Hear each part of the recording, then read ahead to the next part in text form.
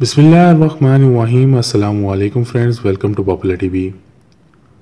سورہ الصف میں ارشاد باری تعالیٰ ہے۔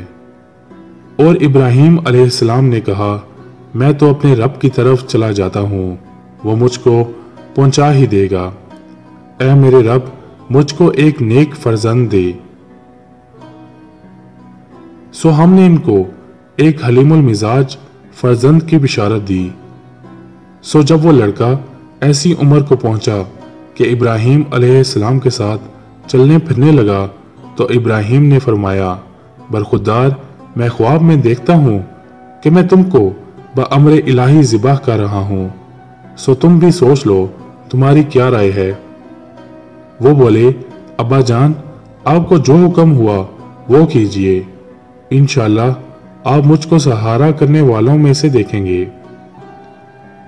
غرض دونوں نے تسلیم کر لیا اور باپ نے بیٹے کو ذبح کرنے کے لیے کروٹ پر الٹایا اور چاہتے تھے کہ گلا کاٹ ڈالیں۔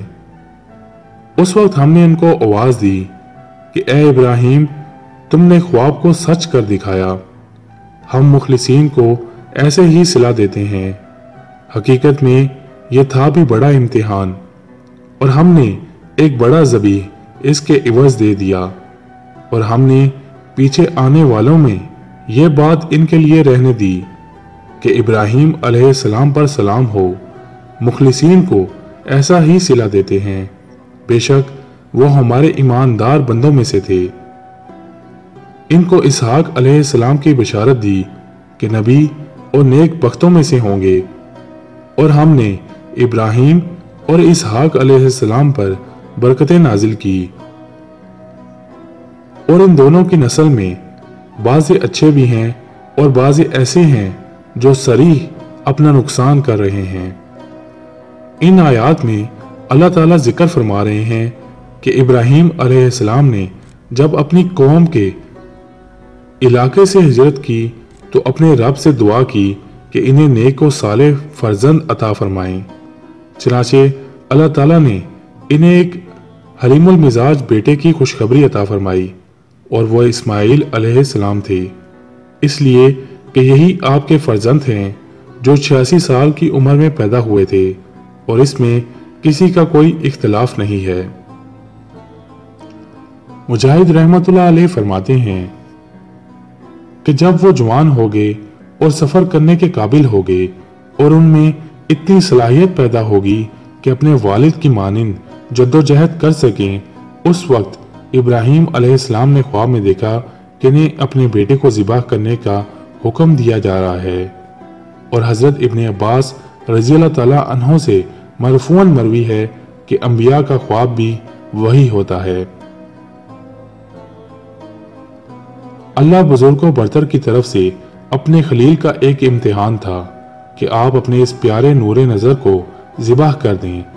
جو انہیں بڑھاپے میں ملا تھا اور جوانی کی حدوں کو چھو رہا تھا۔ اس سے پیشتر بھی آپ ایک ایسے امتحان سے گزر چکے تھے کہ اپنے بچے اور اس کی ماں کو ایک چٹیل میدان میں اور ایسی وادی میں چھوڑ کر چلے جائیں جس میں نہ کوئی انسان، نہ غم خوار، نہ کھیتی اور نہ کسی جانور کا دودھ۔ سو انہوں نے اس میں اللہ کے حکم کی بجا آوری کی اور ماں بیٹا دونوں کو اللہ پر اعتماد اور بھروسہ کرتے ہوئے تنہا وہاں چھوڑ دیا۔ مگر اللہ تعالیٰ نے ان کے لیے کشادگی پیدا فرمائی اور راستہ ہموار کر دیا اور ایسی جگہ سے انہیں رزق عطا فرمایا کہ ان کے وہم و گمان میں بھی نہ تھا۔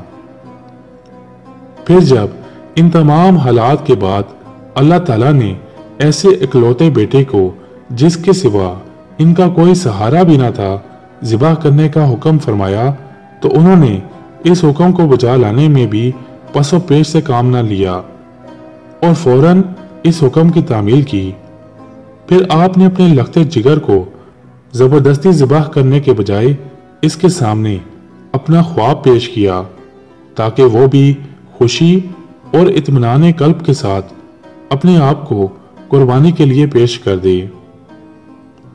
چنانچہ فرمایا برخودار میں خواب میں دیکھتا ہوں کہ میں تم کو بامر الہی ذبح کر رہا ہوں، سو تم بھی سوچ لو کہ تمہاری کیا رائے ہے۔ انہوں نے بخوشی جواب دیا، ابا جان، آپ کو جو حکم دیا گیا ہے، آپ اسے بلا تعمیل کیجیے۔ انشاءاللہ آپ مجھے سہار کرنے والوں میں سے دیکھیں گے۔ یہ جواب نہایت عمدہ اپنے والد اور بندوں کے رب کی اطاعت و فرما برداری کا نادر نمونہ ہے۔ ارشاد باری تعالیٰ ہے، جب وہ دونوں متی ہو گئے اور ابراہیم علیہ السلام نے اسماعیل علیہ السلام کو پیشانی کے بل لٹا دیا یعنی ان دونوں نے فرما برداری بھی کی اور قربانی دینے کا عزم مسمم کر لیا۔ ابراہیم علیہ السلام نے انہیں چہرے کے بل لٹا لیا۔ کہا جاتا ہے کہ ذبح کرتے وقت آپ گدی کی طرف سے ذبح کرنا چاہتے تھے تاکہ چہرے پر نظر نہ پڑے۔ یہ ابن عباس رضی اللہ تعالیٰ عنہ، مجاہد، سعید بن جبیر قطادہ اور دہاق رضی اللہ تعالیٰ عنہ کا قول ہے۔ اور یہ بھی کہا گیا ہے کہ آپ نے ننے اسماعیل کو عام قربانی کے جانوروں کی طرح پہلو کے بل لٹایا۔ کہ پیشانی کی ایک جانب زمین سے ملی ہوئی تھی۔ ابراہیم علیہ السلام نے بسم اللہ اللہ اکبر پڑھا اور ننے اسماعیل نے موت کی تیاری میں کلمہ شہادت پڑھا۔ علامہ سادی رحمت اللہ علیہ اور دیگر مفسرین کی رائے یہ ہے کہ انہوں نے حلق پر چھری چلائی تھی، مگر چھری نے ایک بال بھی نہ کاٹا اور یہ بھی کہا گیا ہے کہ چھری اور حلق کے درمیان اللہ کی طرف سے تانبے کا ٹکڑا رکھ دیا گیا۔ اس وقت اللہ تعالیٰ کی طرف سے آواز آئی، اے ابراہیم، شاباش ہے، تو نے خواب کو سچ کر دکھایا یعنی مقصود تمہارا امتحان لینا اور تمہاری فرما برداری دیکھنا تھا، جو حاصل ہو چکا ہے۔ تو اپنے رب کے حکم کو جلد بجا لایا اور اپنے بچے کو قربانی کے لیے پیش کیا۔ جیسا کہ اپنا بدن آگ کے سپورٹ کر دیا تھا اور تیرا مال مہمان نوازی میں استعمال ہوتا رہا، اس لیے اللہ تعالیٰ نے فرمایا، یقیناً یہ ایک بڑا امتحان تھا۔ ارشاد باری تعالیٰ ہے، ہم نے ایک بڑا زبیحہ بچے کی قربانی کے عوض دے دیا۔ اس بارے میں جمہور علماء سے منقول یہ بات مشہور ہے کہ وہ موٹی آنکھوں اور سینگوں والا ایک سفید مینڈا تھا۔ ابراہیم علیہ السلام نے یہ مینڈا کوہ سبیر پر درخت کے ساتھ بندھا ہوا دیکھا تھا۔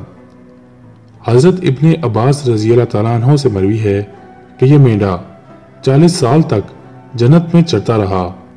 حضرت سعید بن جبیر رضی اللہ تعالیٰ عنہ کا قول ہے کہ یہ جنت میں چڑھتا رہا۔ پھر کوہ سبیر پھٹا اور اس میں سے یہ مینڈا نکلا۔ اس وقت اس کے جسم پر سرخ اون تھی۔ حضرت ابن عباس رضی اللہ تعالیٰ عنہ فرماتے ہیں کہ یہ مینڈا بڑی آنکھوں والا اور سینگوں والا تھا۔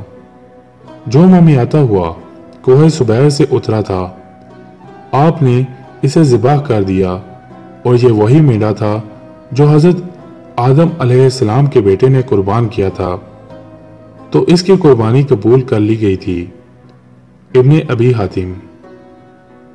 فرینڈز مجھے یقین ہے میری آج کی ویڈیو آپ کو اچھی لگی ہوگی۔ اللہ تعالی ہم کو بھی سنت ابراہیمی پر عمل کرتے ہوئے اچھے سے اچھے کام کرنے کی توفیق عطا فرمائے۔ آپ سے ملاقات ہوگی میری اگلی ویڈیو میں۔ تب تک اپنا اور اپنی فیملی کا بہت خیال رکھیے گا۔ فی مان اللہ۔ اللہ حافظ۔